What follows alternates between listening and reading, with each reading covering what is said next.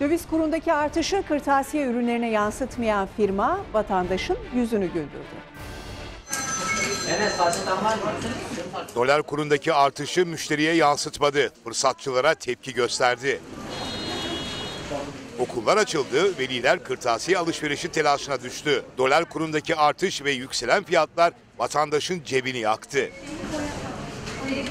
İşletmeler haksız zamlarla vatandaşı zorladı. Ancak bir kırtasiye firması bu duruma tepki gösterdi. Dolara inat, her şey eski fiyat sloganıyla kampanya başlattı. Dolar üzerinde oynanan Türkiye oyunun bir parçası da olmak istemedik. Bunun yerine biz uygun fiyatla tüketicimize ürünleri sunmayı tercih ettik. Firmanın genel müdürü dolar fırsatçılarına tepki gösterdi. Biz genel olarak e, dolar kurundaki artışı e, müşterimize yansıtmak istemedik. Vatandaşlar kampanyadan memnun kaldı. Zamsız kırtasiye ürünlerine büyük ilgi gösterdi. Haksız zamlar yok burada.